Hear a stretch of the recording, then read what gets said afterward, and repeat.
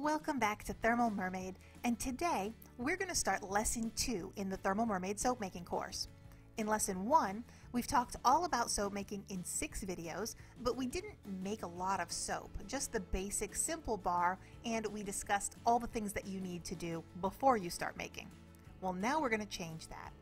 In Lesson 2, we have a 13 part video collection with 10 recipes, and this lesson corresponds to Chapter 2 in the Soap Making Companion. Now, if you want a copy of this, you can find it on the website at the link below. This book, it's also available in paperback and hardcover on Amazon and also at Barnes & Noble, and you can get this on request at your local retailer. But if you want a PDF for free, you can download that below. Now today's video is just an introduction of lesson 2 so that you get an idea of how I've organized it and why. So if you're eager to get the entire collection of the beginner cold process soap recipes in lesson 2, be sure to click the subscribe button and also that notification bell so that you can watch the entire videos in the whole series. And with that, let's begin. Lesson 2 begins our journey into cold process soap making. Now we're really ready to get started.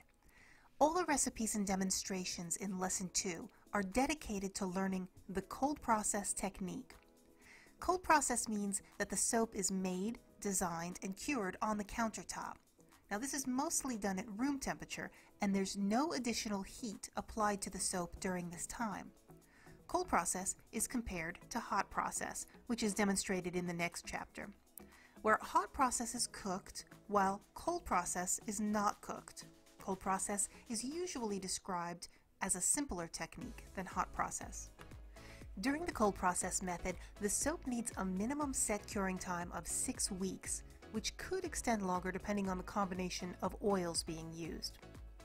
One of the reasons that artisans prefer the cold process method is because of the beautiful vibrant colors that can be produced. And you can get more detail out of your designs than you can with hot process cooked soap because the texture of the soap batter is different. This 12-part lesson is going to take you through some of the basic terminology and troubleshooting when using the cold process technique. Everything you find in this part of the course is designed especially for beginners, and it deals with the very first questions that you have when you start soap making, and it expands to the questions that start to come up once you practice a few recipes. Exercises 1 through 12 are set up in a specific way. In lesson 2.1, we'll start off with a basic standard recipe. This recipe directly addresses the most common question that I've answered over the years. How do I make my bar of soap white? Now, as a new soap maker, this isn't typically your first question.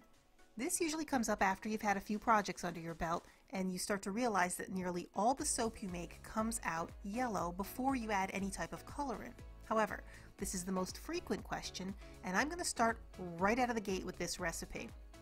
You see, the base color of your soap depends heavily on the combination of oils you choose in each recipe. The most frequent question that I get in messages is how do I make my soap white right from the start? So we're going to start with the very first recipe with a bright base that cures to a white bar of soap. In lesson 2.2, we'll move on to another basic standard recipe. This is a more common recipe. It's a more traditional oil blend that's very easy to work with. The recipe is just a bit more advanced than the last, with an easy to use popular fragrance and a very simple color technique.